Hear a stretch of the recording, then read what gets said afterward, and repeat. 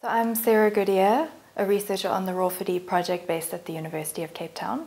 This study was an exploratory look at disaggregating any OER spend from South African government budgets, looking particularly at learning and teaching support materials in the basic education system, which is equivalent to K to 12.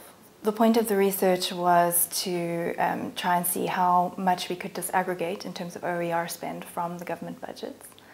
Um, so it was quite exploratory, um, investigating how far we could take this and if any OER spend was occurring. So the research involved primarily desktop research, looking at what had already been published in the literature and any publicly available government budgets. Also some interviews were conducted.